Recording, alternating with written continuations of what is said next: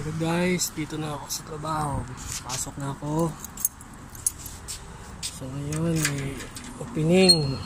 Tapos, wala pa akong kasama. So, ito yung shop namin.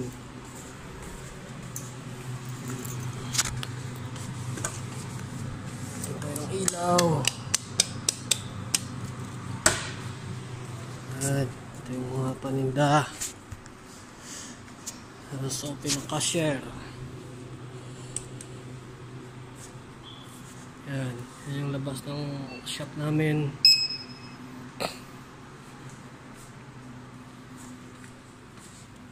So, ito. Yan.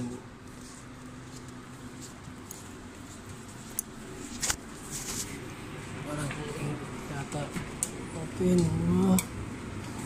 Yung ilaw. Tingnan natin kung ang ilaw.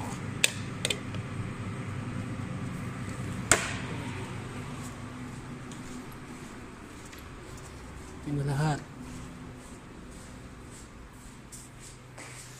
Pag maglilinis muna ako ngayon.